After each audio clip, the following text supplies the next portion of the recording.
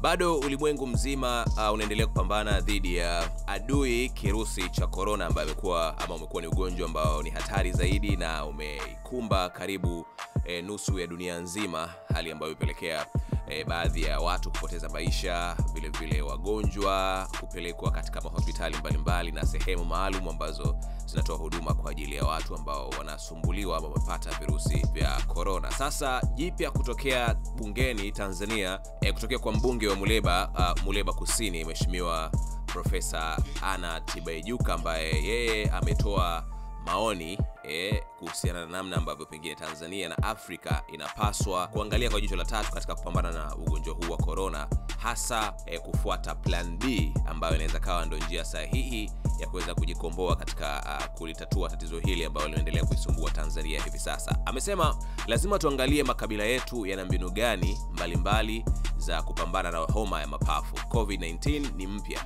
ila ni lazima tuangalie pia option B, tutumie tiba mbadala kama ambavyo Ghana wamepona watu takriban 33 wamerudi kwenye mwarobaini na maisha yao yanaendelea.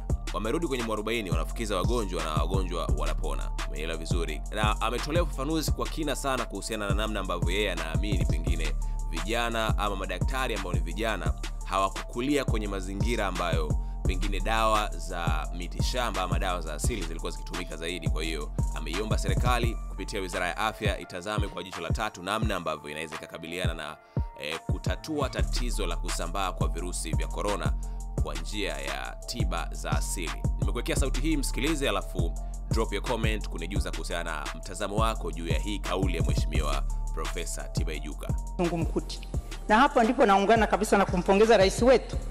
Tunaanza na sala, kwa sababu lazima tukiri kwamba mpaka sasa hivi Mungu ametu- ametuhurumia. Tumshukuru Mungu jamani, Mwenyezi Mungu ametuhurumia, kwa sababu yale yanayotokea yangefika hapa, hatuna uwezo wa kurespond.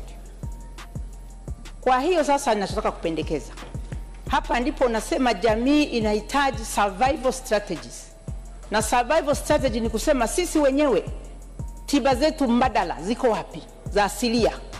Hakuna jamii yoyote itakayokana na kusubiri kifo, lazima itaangalia kujihami. Kwa hiyo kama kweli mambo, Mwenyezi Mungu asipopisha dude hili likatupisha mbali, tukafikia pale walipofika, ni lazima tuangalie makabila yetu mbalimbali yana mbinu mbalimbali za kukabiliana na homa za mapafu. COVID-19 kweli wanasema ni mpya, lakini sio mara ya kwanza kwa, eh, kwa virusi kama hivi kutokea. Kufukuzia ni muhimu, lakini unahitaji mkaa, unahitaji kuni. Sasa hii sisi kama serikali ni lazima tupu, watu wapate mkaa, wawe nao karibu, watu wawe na, nasigiri, watu waweze ku, wawe na kuni karibu, maanake inabidi uwe karibu na joto. Kwa mfano katika tiba zetu nyingi asilia, nataka kuomba Wizara ya Afya na Mheshimiwa ndugu liye nimeshamwandikia barua rasmi kusema kwamba ni lazima tuangalie pia option B. Sisemi kwamba tusifanye option A, tuvae maski, ventilators tuzitafute, lakini if hell breaks loose, kama kweli itabidi sasa watu wengi wameambukizwa, ni lazima tuangalie namna ya kuokoa watu walio wengi, na mimi naamini kwamba wataokoka.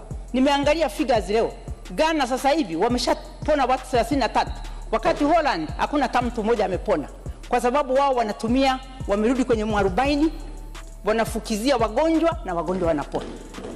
Kwa hiyo mambo haya naomba kusema kwamba elimu elimu yetu kasumba, wazungu hapo wametupoteza, tuna kasumba nyingi, na uwezi kuwalaumu madaktari wetu wengi wame, wamekuwa trendi kwenye western tradition, Oxford tradition, wanabeza mambo yetu kana kwamba sisi kabla wazungu kuja tulikuwa tuishi au tulikuwa tuugui. Kwa hiyo tiba mbadala ni kitu muhimu sana. Nimeona niliseme hili kwa sababu ni survival strategy. Ni lazima serikali sasa isaidie. Kule kwangu kuna beria fulani wanazuia watu wa mkaa, sijui wanataka mtu apikie nini. Unamuuliza mtu, mtu wa mkaa, mtu aruhusiwi kuwa na mkaa wake wa kupikia kwa mfano. Kwa hiyo nataka kusema kwamba mimi ninaona hivyo mimi katika ku- ku- ku- kukabiliana na, na, kukabiliana na hii COVID-19 ni kwamba tuangalie plan A na plan B. Plan A ni hii ambayo tunayo standard procedure hospitali. Plan B ni kwamba kama tukizidiwa, lazima tupeane ma- ma- maarifa. Wagogo wanafanyaje? Wapogoro wanafanyaje? Wanyakyusa wanafanyaje? Wahaya tunafanyaje? Kwa sababu hii, hii knowledge ipo, ni indigenous